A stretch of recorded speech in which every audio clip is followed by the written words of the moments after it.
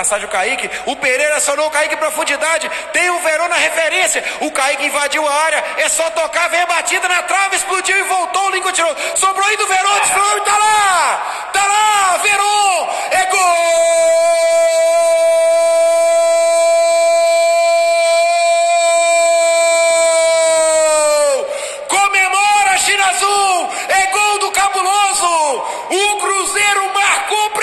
Na saída de bola do Bragantino. A bola metida com açúcar do craque da 10, o gênio, o herdeiro da 10 do Disseu, o herdeiro da 10 do Alex. Tocou para o Kaique, que com tranquilidade foi no fundo e cruzou essa bola. No rebote da batida da trave, sobrou para o Verón, que empurrou para o fundo das redes. Agora está lá no placar, aos 7 minutos de partida.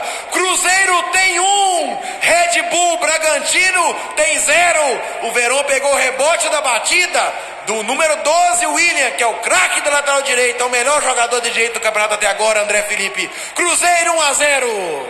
Excelente maravilha. É uma, uma zaga muito avançada do, do Red Bull Bragantino, quase lá no meio de campo. Esperteza, destreza do Kaique ali na ponta esquerda. Um chutaço na trave, rebote e sobrou ali pro Verón a fera enjaulada. Gol do Cruzeiro, gol da Camila Lopes. O Matheus Andrade, o Verón tão contestado vive uma fase artilheira no Cruzeiro. Ele não tinha bons números assim no Palmeiras, que tem agora no Cruzeiro. Semelhante ao Kleber, quando veio para o Cruzeiro também, viveu uma fase artilheira. O Verão dando a volta por cima e pode dar trabalho para o Cruzeiro, né? Terminar assim a temporada, pode colocar uma pressão no Pedrinho para pagar lá o valor do passe dele, que salvo engano são 12 milhões de euros junto ao Porto. Cara, eu acho o Verón realmente está fazendo gols em diversas partidas, mas eu acho um jogador muito abaixo.